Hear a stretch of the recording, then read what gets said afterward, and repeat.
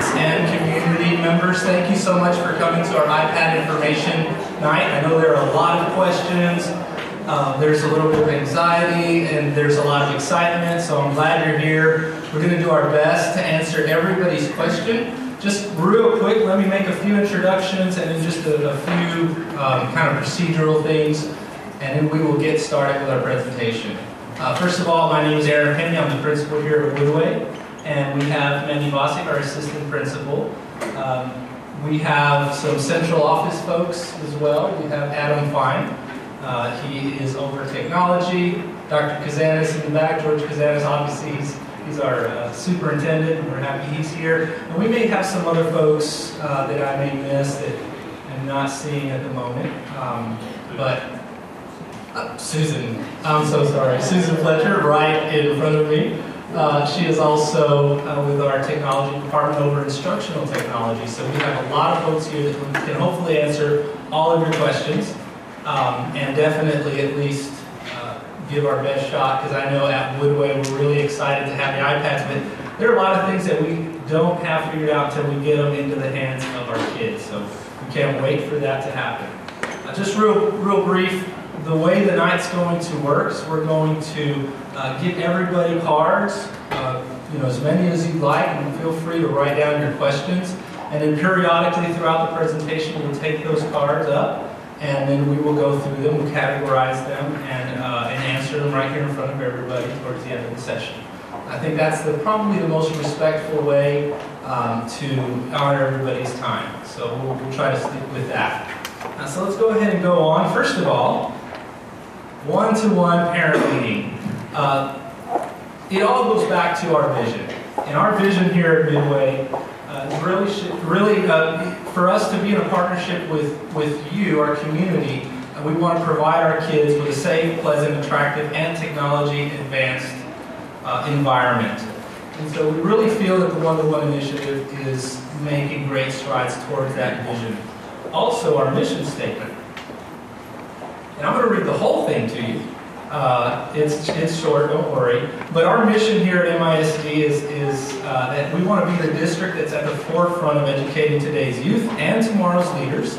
And it's to maximize the individual potential within a learner-centered environment to prepare citizens to excel in a global society. And that part right there, uh, maximize, maximizing the individual potential within a learner-centered environment is key uh, I consider myself a teacher, even though I'm, I'm functioning in, in, in, a different role right now. But at, at, at, the heart of who I am, I'm a teacher, and I get into classrooms all the time. And I was telling one of, one of our parents just a little while ago, I'm so excited to have the opportunity to have this powerful machine in the hands of every single kid. Uh, the only thing that I, I wish could, could be a little different was I wish I could go back in time to when I was, you know, that fifth grade teacher in Houston if my kids had an iPad, boy, I could have really enhanced their learning.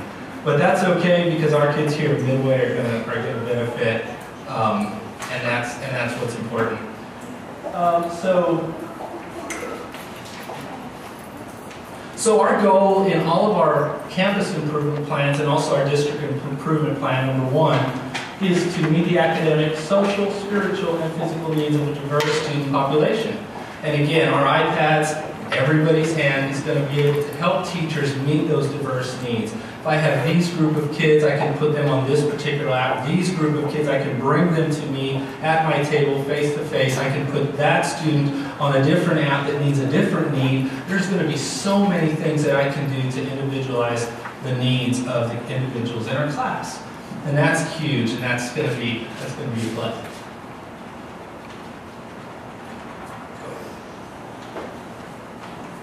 So the purpose is to provide, the purpose of the one-on-one initiative is to provide a truly participatory and authentic learning environment that heightens the student engagement, enhances academic growth, and intensifies the desire to learn. So And I want to bring particular attention to this next part here. Inspire students to create, innovate, communicate, collaborate, research, problem solve, and think critically. Last year, when we first started really getting into the iPad initiative, and again, I shared this with one of our parents, and I was, I was um, you know, part of me was a little skeptical, another part was really excited. But I wanted to go and see what, what what's the big deal for myself. I mean, I know Eanes ISD was going to a one-to-one initiative. That's where Westlake High School is, and I know some folks out there, and they just brag and brag and brag how wonderful it is. But I wanted to see it for myself. So obviously, uh, down the road at Speegleville, we had it going on already. And I went and visited some of the classes. And I'll never forget, I saw a little girl, I believe it was a second grade class, and, and everybody is doing uh, an assignment on weather. And some kids have got the paper pencil and they're doing Venn diagrams, and some kids have iPads and they're doing different things. And this one little girl starts explaining her, it essentially looked like a, a newspaper, like a magazine, you know, like professionally done uh, weather comparison thing. And she starts explaining to me what she was doing. I was floored. And I asked her, I said, can you print that out? I mean, think about what I'm saying, you know, at Speegleville, one-to-one initiative, and I'm asking her to print it out. She said, well, I can email it to you.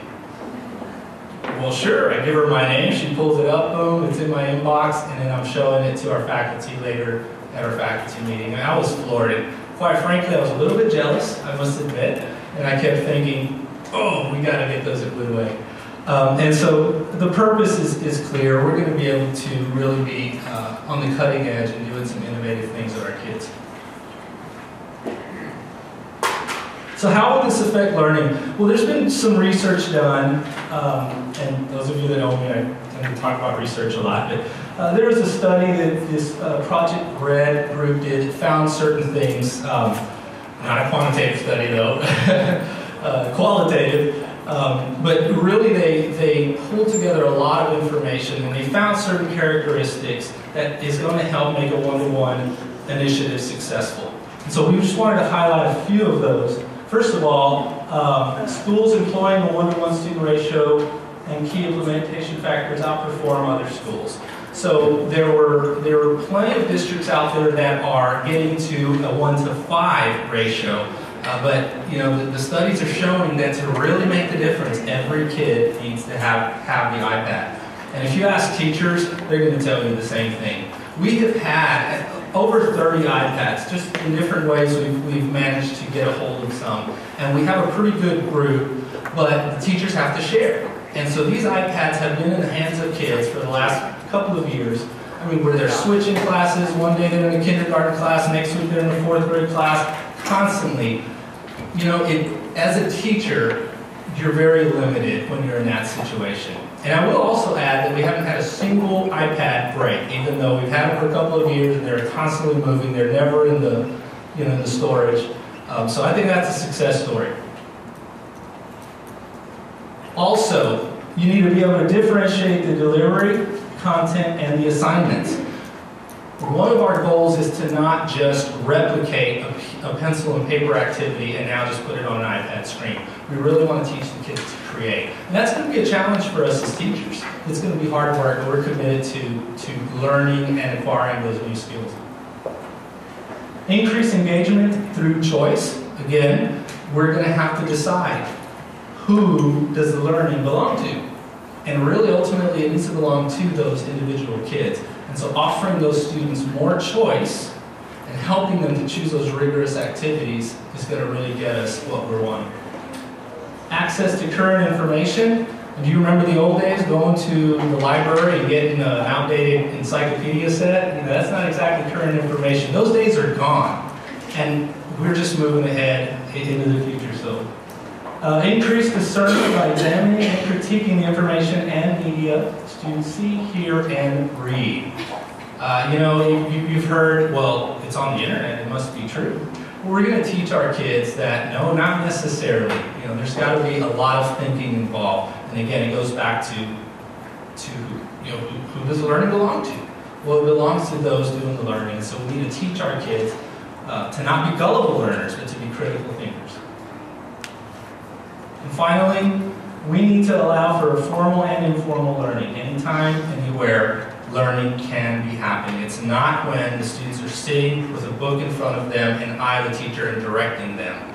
Learning can be happening all the time, constantly, even when they're at home, when they're here. Of course, these students moving forward to when they have that device in their hand as high school students, they're going to be light years ahead of many other kids that don't have this opportunity.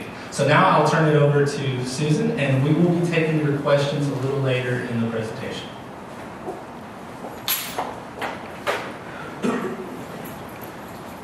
If you have already written down a question, and we will, we're going to collect them again in a few minutes, but if you are, you just want to kind of get it out of your hands, just kind of raise your hand. I've got some folks that will walk around and just pick it up if you've got it. If not, just hang on to it, and we'll add, we'll collect them in a few minutes.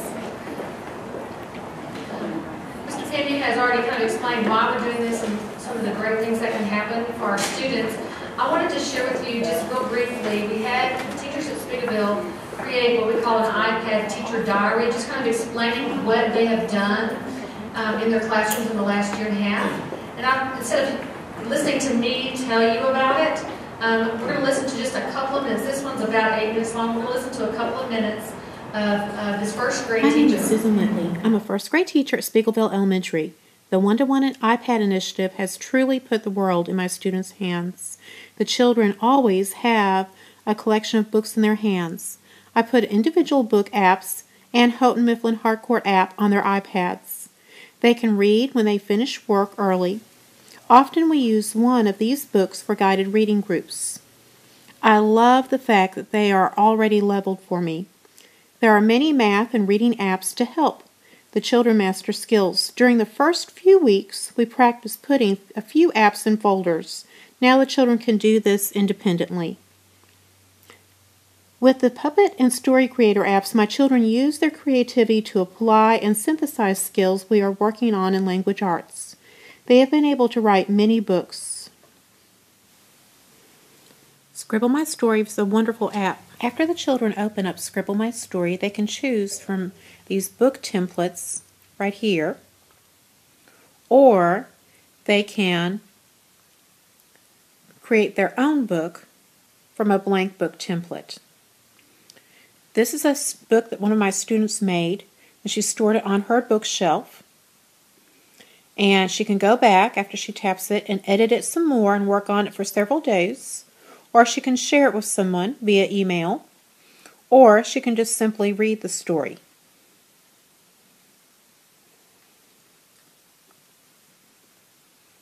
By tapping to open it. I can fly.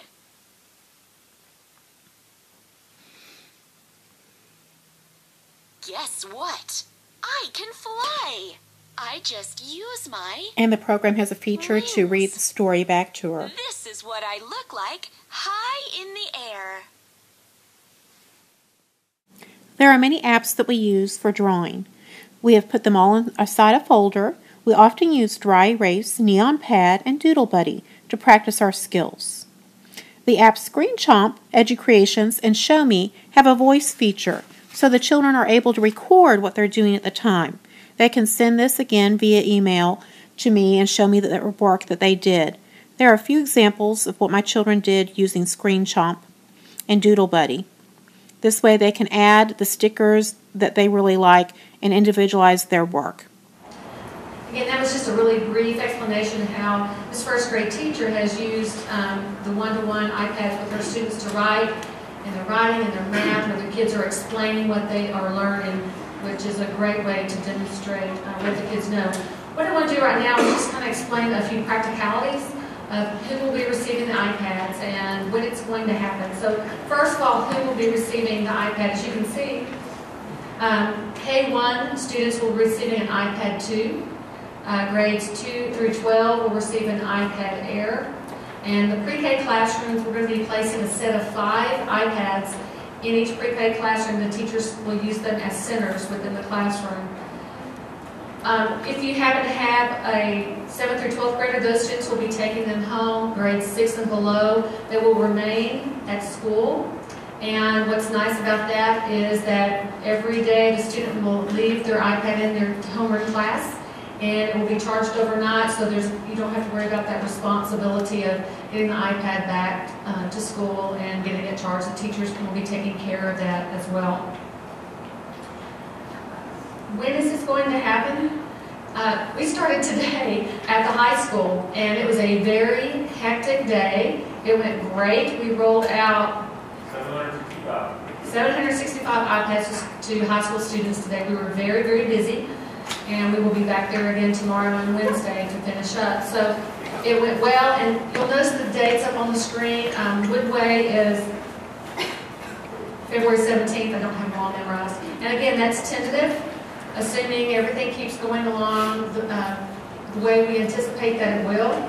That's the day that we will come in and we will go into your students' homeroom, classroom, and work with a, a class at a time, showing them how to, to uh, turn it on, how to do some basic and things on the iPad, how to carry, carry it, you know, how to take care of it. So we do an orientation with our elementary students in their homeroom classroom. How, what does it take for your child to receive an iPad? Well, there, one of the things that needs to happen is you as a parent need to go to our MLink website, and I'm going to talk about MLink again in a few minutes. And there's a parent agreement, and you just simply fill out a few pieces of information and click submit. And that's all you need to do as a parent to sign up your child to receive the iPad. Your student, on the day that they receive the iPad, there's a little agreement that they'll sign their name. We want the students to know that there's a responsibility that goes with this, just like a textbook or any other device or um, instructional uh, material that's given to them, that they are to care for it when, when they have it in their possession. So um, they will sign it and we'll make it official with them, and then they will receive their iPad.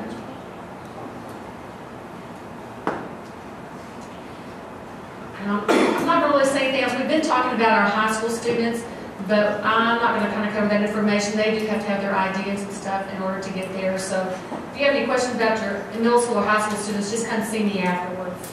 I think.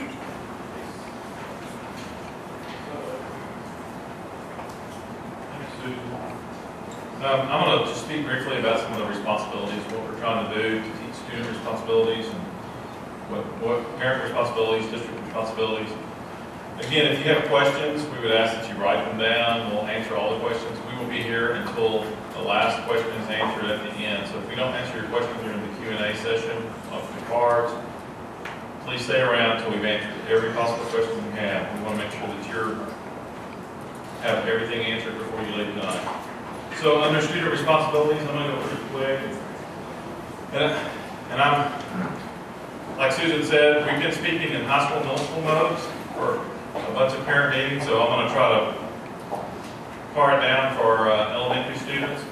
But the responsibilities, we're going to, we're going to, from the instructional team, they're going to help the students and make sure the students know that they're, how to be responsible with the device, like Susan said, how to walk around the halls. And like Mr. Pinckney said, they've already had a bunch of devices here. We've had no issues. I should also mention, at Speegleville, we've had one device that was broken. It was an accident. It was, it was covered by the district, It would have been covered by the district. So we don't anticipate any issues in the elementaries at all. Elementary and intermediates feel pretty confident that the devices are going to be uh, well taken care of, and that since they're remaining in the classroom, they're going to be in the docks. Um, you know, it's just the, the horsing around and that kind of stuff that we're really wanting to, to make sure we don't have yet. But so students need to make sure that they guard their information. So we'll we'll do that for you as is uh, from a district level by doing a lot of layers of filtering. We have a lot of layers in place. I'll address some of that in a little bit about how we filter, how we filter email, um, some of the things that we do differently around elementary students versus middle and high school students. Um, students should ask permission before recording, so that's one of the things we'll, we'll stress in the classroom. The teachers will stress that from an instructional perspective. But I think it's important for parents to know, know that as well. Uh, parent responsibilities, you know, I, I think it's valid for all parents to talk to their children about them, you know, how to use the device uh, responsibly. Um, you know, what kind of care is to take place on this. And ma'am, you're taking pictures, we'll have the slides available if you want them, but you guys are welcome to keep any information you need, we're here to provide, okay? So we want to make sure that you don't leave here unprepared. Um, we want to make sure that you, you let your student know, if I'm in class, I'm in Mrs. Smith's class, and my iPad's not working, you know, raise your hand, let the teacher know so that we can get that repaired. We have our own in-staff repair department. Uh, we do most of our own Apple repairs ourselves. That's been a big question. And we'll get that repaired and back to the students so that they can do instruction just as soon as possible. Um, we talked a little bit about the responsibility for replacement and repair costs, and that's in the parent agreement. We'll talk about that in the M-Link section. And then if a device is lost or stolen, um, they need to report that immediately here at the campus. I, we don't anticipate that happening at the elementary levels because really they're in small groups. They're staying with those kids. They stay in the classroom.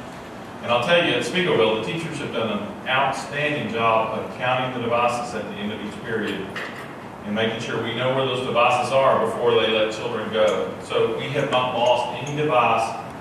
Um, even in the iPads that we've had, Mr. Penny talked about, we have iPads all over the district from the intermediate levels down, we've had none stolen.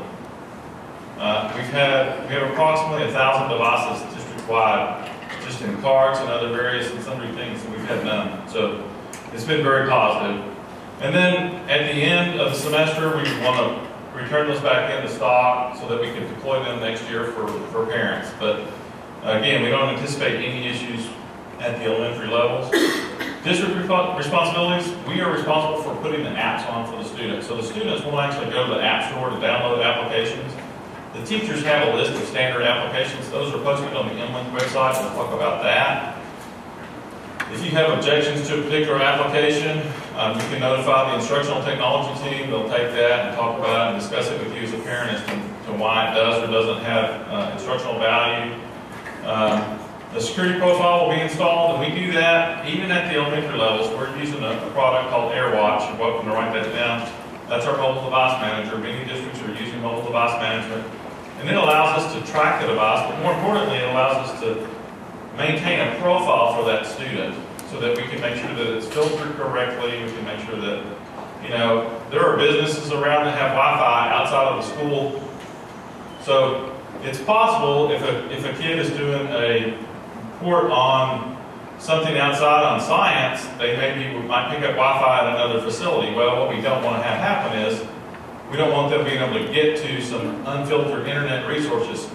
And that's what this allows us to do. So no matter where that device is, so even if your child goes to the Bob Bullock Museum, it's still going to be filtered because it comes back in through the, the filtering system of the school district, okay? So it's very important that we're making sure that we're responsible for your little ones. Um, digital citizenship. So one of the things that we've talked about, Susan and her team have done a really good job, and will continue that. What does it mean to be a 21st century learner? What do we need to teach children responsibility about how they use this device? Is it okay to just record folks? No, you need to ask permission. We're going to have a protected case. It's a very good case, so that, that has prevented a lot of accidents that we've had potential accidents in the past. We don't anticipate any issues with this. And then one of the things that we've discussed is we're going to offer parent education courses. So it's not possible for you guys to know everything. It's not possible for us to know everything. We have to look for other folks to help us as well. But one of the things that we want to do is have elementary parent nights on things that you can do at home to protect your child and yourself even online. So um, there's some resources on the MLink today. Uh, talked about layers, one of the things that we do um, that I recommend all parents do, if you've got internet at your house, you should use OpenDNS if you're not already using it. It's on the website. We actually have a link that tells you how to install it. Um, OpenDNS will prevent a lot of malware and a lot of bad stuff from happening at your home network. Highly recommend it if you're not using it. Um, it's, and it's nice because you get reports, it's free, you get reports and, and information about where your child has been going and what they've been doing on the internet. So, um, that's it for my part. If you- DNS. I'll, uh, I'll show you on the link or we'll post that or come see me after and I'll help you. Thank you. No, it's, it's a, excellent. So Susan's gonna, if you wanna hold up your card, if you have a question already, we'll take it up. If you, if you don't, if you wanna hold your questions, I know there's gonna be a lot of questions about what, when, why, how. Um, Again, we'll make sure we stay until every question's asked. So we're going to go through the questions. We'll start addressing the questions after Susan goes over MLink a little bit, and then we'll stay until the last question is answered, okay?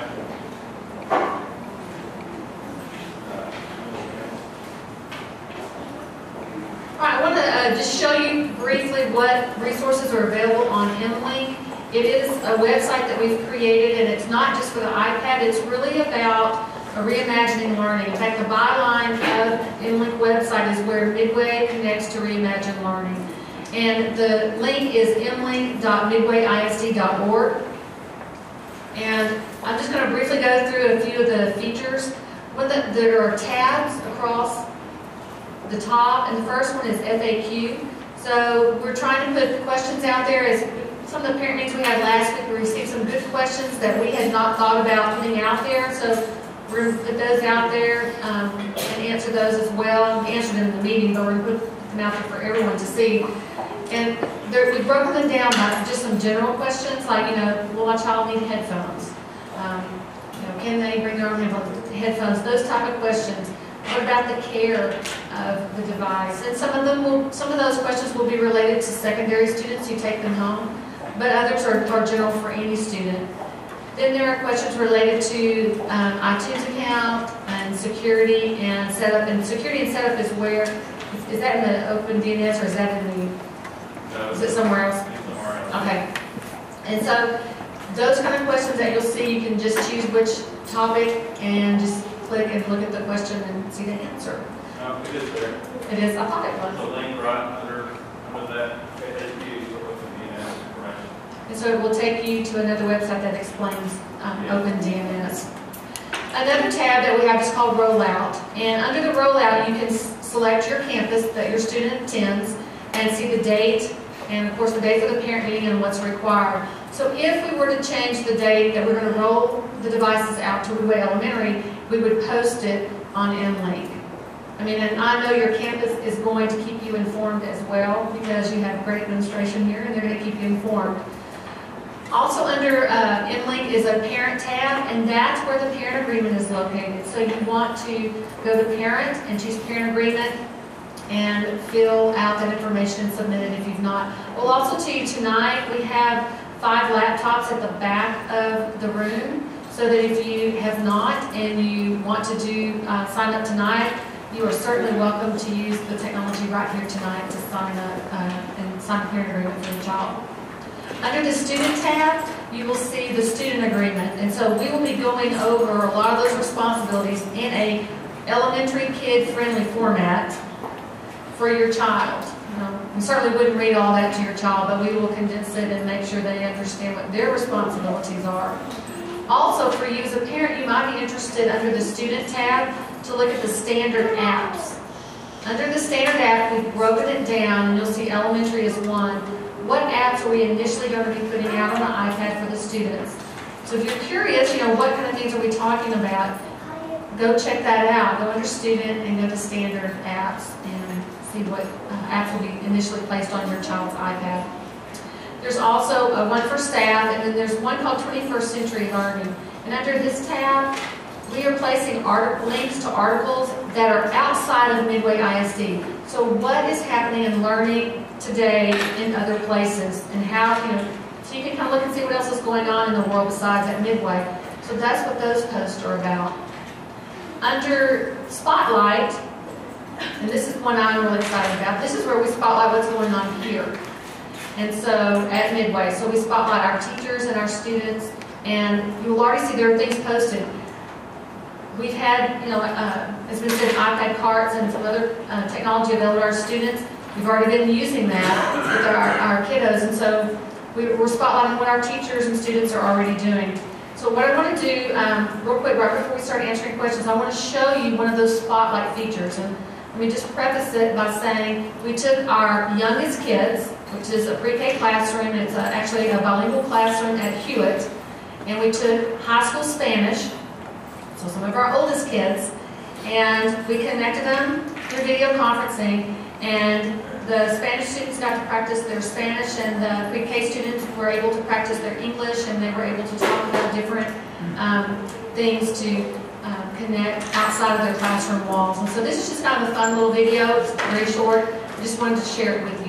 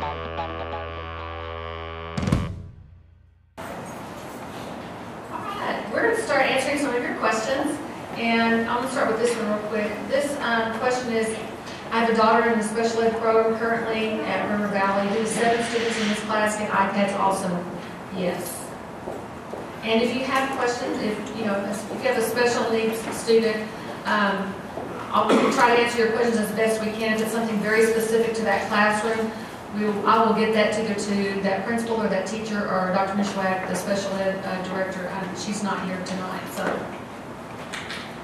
Our textbook, textbooks going to be on the iPads. Um, Right now, um, as you saw in the first grade video from Ms. Whitley, she put, one of the apps she put on there was um, from a textbook company. It's a supplemental resource, and she's using that within her classroom. As the uh, textbook publishers start moving forward, we anticipate that they will be digitizing their textbooks. Right now, they're, they're um, working to do that right now. Um, Some of them are further ahead than others, but in the future, do I anticipate that they will be? I I would anticipate that they would. That? Would you, would you write that down? Okay, thank you. My child is carrying the iPad in a responsible manner. Another child bumps into my child who drops the iPad, who pays? Good question. Um, What will happen is when something, that type of situation occurs, uh, um, Ms. Fawcett or uh, Mr. Pena will get involved, you know, just kind of investigate what happened, you know, was it accidental on both sides, you know, was, uh, was the other child, you know, fishing on purpose? Uh, Was there some negligence on the other child? And they will make that decision that's appropriate. You know, if there's something that's accidental that happens, as we mentioned, the one that happened at Speegleville, um, your child will not, if your child is being responsible, your child is not going to be, you will not be responsible for uh, covering the cost. It will be determined on an individual basis and situation. Uh, Can I change my students' Apple password so I can limit what apps they download? Well, in case six, they can't download any apps, and so that's, if you have an older student, um, come see us, we'll talk about the older students. How will apps be purchased? Um, They will be purchased by the, the school, again, within the district, so it won't be through an iTunes gift card, that was part of the question.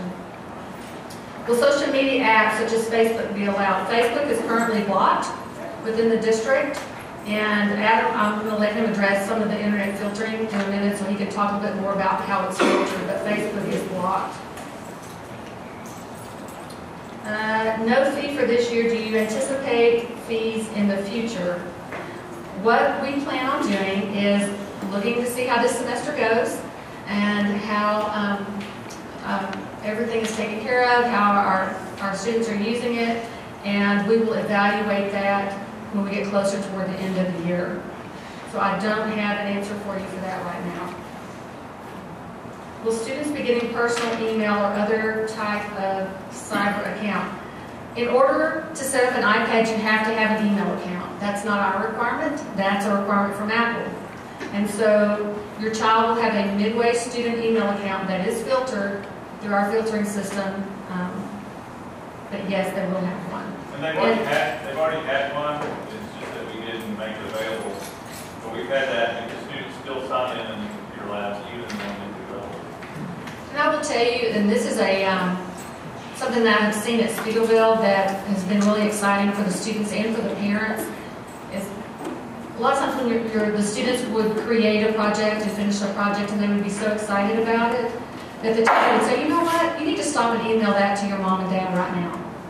And so that they stop and they send it to the parent, so the parent can see what's going on, what the child's been doing, and they're learning that day. So that's been a really uh, positive event for the students and teachers there.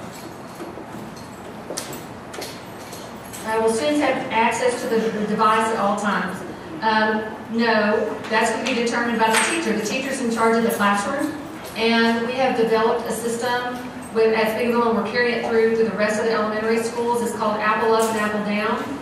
And so the- the students know that when the teacher says, you know, Apple Up, and I don't have mine, but with that case on it, but the, when the apple's showing, that means that we're not using it, and you place it on the desk with the apple facing up.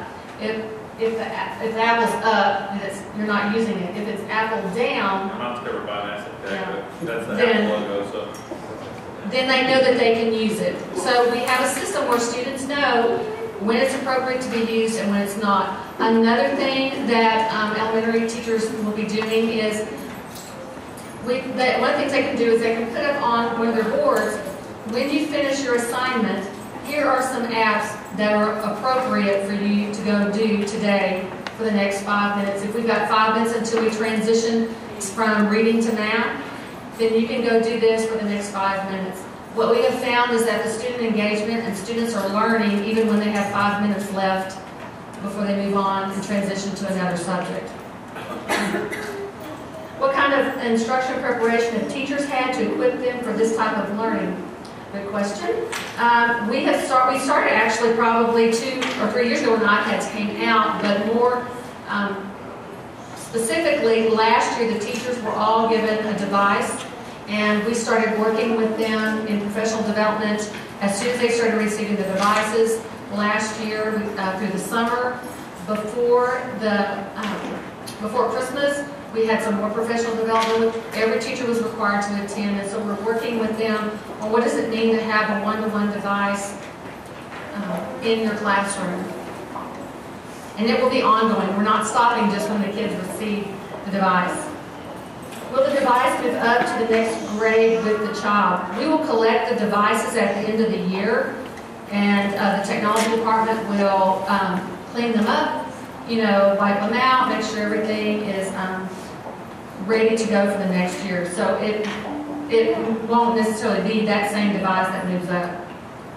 Uh, what percentage of time will students likely be using the devices? Again, that's going to depend upon the teacher.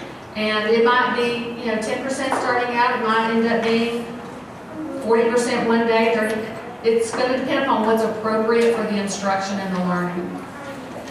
Okay, one more. Oh, the same question. So, All right, uh, several questions here I want to answer. What was, it- what were the test scores after a year at Speegleville, up or down, or how much? Um, It's, it's a difficult question to answer because our system is so, it- it's very complex. So There's, last year we were judged according to three indices. Uh, Speegleville met all three indices, as did Woodway. Uh, We're also compared to 40 schools across the state that are our comparative schools. In other words, these are schools that have similar demographic size. The state uh, kind of lists, lists them all. Woodway did very well. We were fourth on that list. We're planning on uh, reaching the top of that list this year. Speegleville was number one. Now, can we say it was because of the iPads? No. There are a lot of factors uh, to, you know, to kind of make this a complicated uh, situation that, you know, try to figure out. But I would say it didn't hurt. Uh, so Speegleville did very well last year. Uh, what exactly does an alternative assignment mean for the, those who opt out? Uh, again, that's a difficult question because what it looks like in one class isn't necessarily here at Woodway. Second grade isn't necessarily going to look exactly the same, you know, Castleman Creek in second grade or Speegleville in second grade. It really depends. Uh, I can give you an example for uh, the Speegleville example I used earlier when I walked in and, and the students were doing some comparing and contrast and they were also learning about weather, so it was obviously a science activity. And they were constructing some sort of a news, kind of a news letter type thing. Well, you know, an easy alternative assignment would be for a student to use paper and, you know, maybe cutting things out from magazines, you know, finding, you know, pictures, you know, to, to make her pick collage. That's just an example. But what we're going to do is in our teams, at least here at Woodway, we meet every Wednesday and we discuss issues just like this. Um, so it's going to be a challenge for our, our teachers and our teacher teams uh, to get together and really decide on alternate activities for specific lessons that are going to be of quality. Because we don't want to have a student doing something on an iPad that you know has sound and there's images and it's just you know fantastic, and then another student is doing a ditto sheet. That is not our intention. We care about kids. We care about all kids, and we're going to really work hard uh, to find alternative activ- activities that are going to be meaningful for the student and really address the standards that we're trying to cover. Um. These two go together. It's, it's talking about basic skills such as writing, penmanship, printing leg- legibly, cursive. Um, also, what about math? You know, basic skills in math, like re- repetition skills. You know, learning their math facts, and also spelling, grammar. Um, it's not going to do. It's not going to take away from our standards, and part of our standards that we are responsible for teaching are, uh, you know, standards that have to do with penmanship. You know, our students are going to have paper and pencil activities still. This is not going to uh, change that part of our of our education. So we're still going to work on basic skills. Um, we are still going to work on you know multiplication and computation skills. If anything, I think it's going to enhance our ability to do that. Um, you know, sometimes a, a student just doesn't want to use the paper and pencil flashcards, but maybe if it's you know electronic. Uh, I don't know if you've ever seen kids in front of electronics, but they get into it for some reason. Um, so it can enhance our ability to meet um, what, what we're needing them to learn and, those basic skills, but it's not going to take the place of paper and pencil activities completely. I, I, I just do not see that happening. It can't happen because our standards won't allow it. Anyway, um, how do you keep kids motivated to challenge themselves? Uh, this is kind of a this is an overarching question, I think. Um, you know, motivation is one of those things that is, is difficult as a classroom teacher you, to keep 22 kids motivated in things that may not be that interesting is kind of challenging. Uh, so the first thing is we've got to challenge our teachers to find ways to keep kids motivated. One of the things that we do here at Woodway is we really try to help students understand what effort has to do with achievement and how closely they're linked. And so we help kids understand that the more effort I put in, the better outcome I'm going to receive. It's not only having to do with my innate ability or luck or maybe somebody else. It has to do with how much I put forth. So we're really trying to teach the kids, and that helps with the motivational side. Um, and then some other things that we're going to do, again, I think iPads are going to help in this situation. Uh, you know, I, you put a you put an, a story on an iPad rather than a piece of paper, and it, just helps. It does. Uh, but again, it doesn't mean that we're only going to use iPads for everything now. We're going to try to be as appropriate as we can. For those who oppose iPads to the point of not letting their child get one, I would suggest that we have the PTA have a fund to pay for insurance for those children. Um, again, very big question. These are some things that we're going to have to consider moving forward. My thought, and again, these are just my thoughts. We haven't, you know, we haven't talked as a team about any of this. But my thought is, I don't want fear um, to keep a student from having access to an iPad. If it means that you know a parent you know is is not able to afford the you know the possibility of that kid slamming their iPad on the ground and breaking it, you know our school, Woodway at least, will come together and try to figure out a way, a solution to get the student what he needs. But again, that's just my first thought reading the question. My goal is to have our students reach their fullest potential and not let fear or nervousness or anxiety keep us from doing that. So we'll figure it out situation by situation. Um, and the good news is, really, even if a student or a family can't afford to pay for a broken iPad, well, it's our job as the school to make sure that iPad doesn't get broken.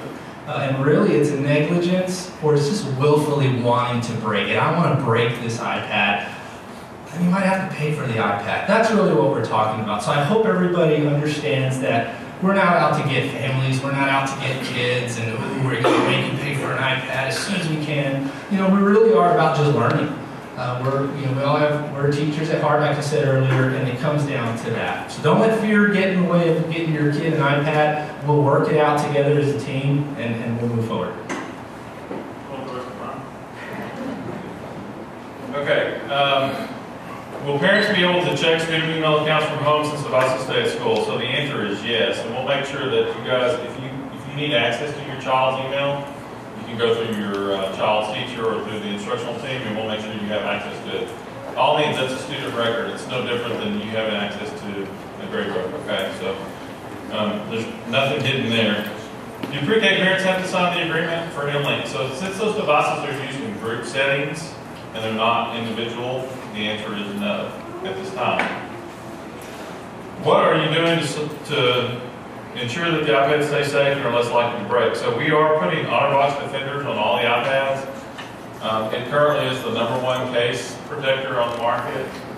Um, I, I'm gonna stop dropping mine. I haven't broken it yet, but I've been doing that demo repeatedly, and um, I, I will tell you they're very, very tough. Now, it's just like Mr. Penny said, we're not anticipating problems. Um, we've, we've had a year and a half under our belt at Speegleville Elementary, we've had zero. So no child at that building would have had a parent that would have incurred a penalty. Um, how will the iPads be kept secure? So we have, we have security cameras, we have security resource officers that are in the district now from the city of Woodway and the city of. Hewitt, uh, the security resource officers are certified police officers within those jurisdictions. They also cover the district. One of the things that we have, we have security cameras all over in the, in the hallways, et cetera. So, you know, we lock our buildings at night. Um, let's say we had a break-in and you lost, we lost a whole classroom set of iPads. You're not liable for that at all, no way, shape, or form. That falls back on the district. That would be under our district insurance plan at that point. Um, so the kinds of things that we're talking about, we're, we're doing a lot of due diligence. We have a special charging station that's a real nice charging station that we've actually designed. Um, and that will go in the classrooms to make sure that those devices are safe when they're stored, uh, to be recharged, etc. And are we, are we training our teachers to creatively use the iPads? And I would say yes. Susan, we've had a year, uh, the teachers have had iPads for a year now, and they've really done a lot of due diligence, homework, to try to make sure that they're going to instruct your child um, efficiently, correctly, 21st century learning skills. I mean, we've used a lot of the problems that other districts have had before us to try to make sure that we're not going to have those problems. Does that mean we won't have problems? Absolutely not. Everyone's a unique individual, and there's going to be some, you know, two steps forward, maybe a step back. But all in all, we, we've got a really good plan, we believe, based on some of the methods that we've used from other school districts. So um, it's been a well thought out process.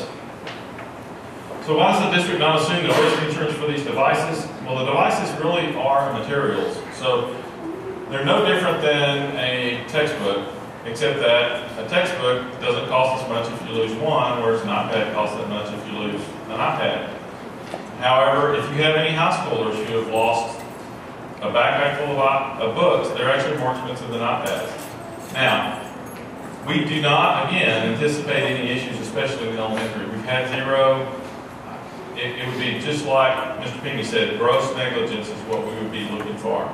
And that would be defined by the teacher in the classroom, calling the principal, the assistant principal, and ultimately maybe calling the uh, security resource officer if that was needed. Um, it just, we just haven't had any issues uh, at all to date.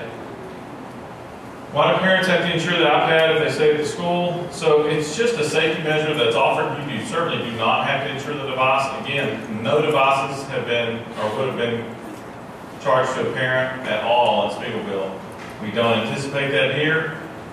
However, we wanted to make it available to parents if someone in the back of their mind thought, you know what? Um, I'm really worried that Johnny might break the device intentionally because of whatever reason Johnny has. For the price of insurance, maybe it makes me feel better to sign an agreement and not be hit up for the responsibility of, you know, a four hundred and seventy-nine dollar device. Now, do you need to take out insurance? That is strictly up to you. Um, I would also suggest to check with your insurance provider. We have heard from some parents that some homeowner policies are covering the devices. That, again, um, we're just making it available in case it's something that you really want to use. Will e-textbooks save money? I think one of the parents here asked that. So one, so that's a great question. I'll tell you, if you guys remember the uh, tornado that happened in Missouri a few years ago, um, it actually destroyed all of their materials, and they did not replace a single textbook. They did it with instructional resources that were available through iTunes U that were actually, they were, they were leveled within all of the functional elements of what they were teaching, from science to math, from K to 12. So textbook publishers know, and they're actually required under federal law to have an electronic equivalent today. Textbook publishers compete against each other, so we don't anticipate that those ebook materials are going to cost significantly more or less than regular textbook materials. So we do an adoption every four years of a particular subset. The state of Texas provides something called the instructional materials allotment. It's money set aside for school districts across the nation to purchase, across the state of Texas, pardon me, to purchase textbooks. Now, we will be utilizing those funds to do, guess what, electronic equivalents as they become available. So it behooves the textbook publishers to make sure that pricing is appropriate to fall within the guidelines to be able to get the instructional materials from a school district. The other thing that changed with the last legislative session was they allowed schools to, to purchase electronic materials with those IMA funds. So the state of Texas, your legislators know that things are changing. And they know that school districts are going to have to make sure that functionally they have this much money within the instructional materials allotment. The textbook publishers know this too. They can't charge an exorbitant fee or otherwise other school districts aren't going to use them and their textbook's are going to go away. So I can, I can assure you that some of those things are going to coincide together with how those materials allotments are going to be procured. What is the policy on internet security and access? How do kids email? So on the iPad, there's an app that is Microsoft Exchange. We are a Microsoft Exchange shop. And when we enroll the student, they'll have access right there on their iPad to email from within an app or within email, etc. The policy on the internet, we have varying internet policies and varying internet filtering depending on whether your child is in elementary, intermediate level, middle school, high school, because those children at those different levels need different resources. So we're aware of that. We have multiple layers, multiple policies, and those policies are driven by instructional needs. So it's not something that we say willy-nilly what someone needs. We subscribe to a service. We have a product called iBoss. It's from Phantom Technologies. They actually download content all the time. There's, a, there's K-12 schools all across the nation that use that product. Um, and it's within, it's one of the top five resources available for internet filters in, in the U.S. today. Um, if you look at what we do on email, we have multiple layers on email. So we have we have multiple filters on our email server. We have an inbound, uh, outbound that filters email there as well. So we make sure that email your child's not going to get spam. Okay. Um, could I further explain the liability or the insurance policy or the iPad? I think I've covered that. If you have questions, please, again, there's going to be a lot of us here to, an- to answer those questions at the end. Uh, what researches are being considered about how much, too much media, screen time, exposure? Um, and I'll defer to Susan. I don't know if you've got, I mean, so, so we look at research and Susan looks at some research. There's, I, you know, if you find a researcher who says it should be this much time, you can find another one who says it's this much time. So we're doing what, in the instructional folks' opinion, is the best based on all of the things that we've looked at, what other school districts have done before us. Um, how will teacher-child interaction be regulated? So that happens in the classroom. The teachers have had a lot of uh, instruction from the instructional teams to say, here's what's, here's what you should be doing, here's what's good, here's not, here's what maybe is not so good. And they, they looked at a lot of the resources coming out of Speegleville. So Speegleville parents have done, a, or Speegleville teachers have done an outstanding job. And I will tell you, myself, there were some teachers at Speegleville, I just, they were, I didn't think they would be able to do it because I thought, quite frankly, they're not young enough to adopt some of this stuff. And I, and I, I have to say, I was wrong, flat wrong. Um, you know, the reality is, many of those teachers have done better than some of the young ones. And it, it really has been amazing. I think uh, some of the stuff that those folks have done in the Quest, what they've done instructionally, is, is really outstanding. Uh, if I don't agree to an iPad use, my child will feel left out. How do you plan on handling that? So, so we are, we have those alternative resources. We're not taking down the labs. So there will still be the potential for your child to go to labs to be able to do lab work as well. So just because it's a web quest doesn't necessarily mean if you actually, you know, you say, I'm steadfast and I'm not going to get my, I don't want my child to have this device, and I hope we can change your mind, but if you do that, there will still be resources for them to use here at the school. Okay, so we're not, we're not dismantling all the things that we put in production beforehand. All of those things functionally are still going to be here, but the expectation is just going to change. Okay. Is the camera going to be activated? That is a great question. So not initially, no, because it's a, it's a learning tool. Um, can the camera be, be activated? Yes. With the mobile device manager, we can actually turn off the camera during a testing window. So that's a pretty cool feature function because the state is really particular about what you do and what you don't do within, within the testing within the schools. So we can turn off a camera and, and if there was a particular incident, I don't want to get into that, but if there was some positive reason you said, you know, I have an, an education plan that I need my child's camera turned off, that is something we could do.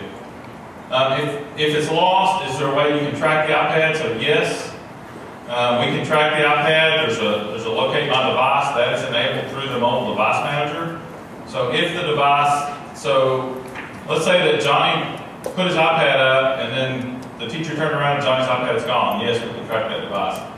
Um, we have already successfully located probably less than about a half a dozen devices at intermediate level and some at middle school that were on iPad cards that the teacher turned their back and they disappeared. And we've not had, we've had zero theft. So, um, and can siblings share the iPads? Under this model, no, they cannot because they're actually going to be here housed at the school.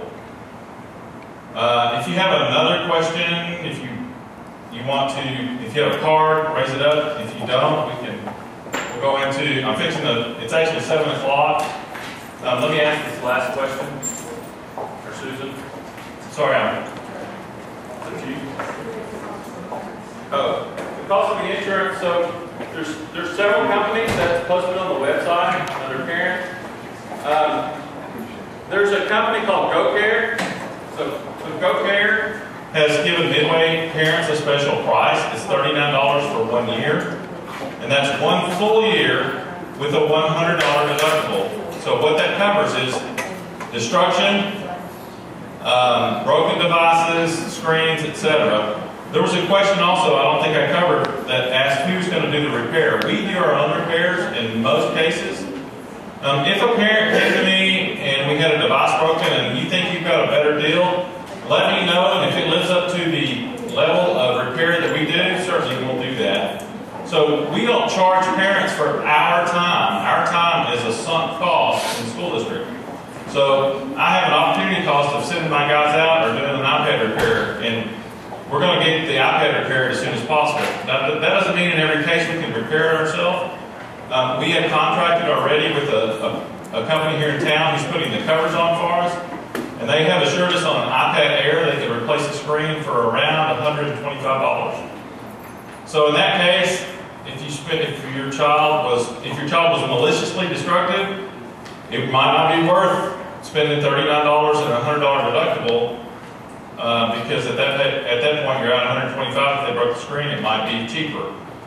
Uh, again, we don't anticipate those. We want to make sure parents understand it.